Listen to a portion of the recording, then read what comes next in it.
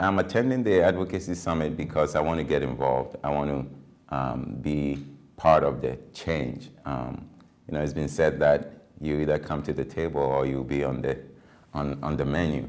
Um, I want to be involved and I want to uh, make a difference. And I think that if we get all surgeons um, to be involved, um, we can have our voices heard and we can also help to shape the way uh, surgery should go.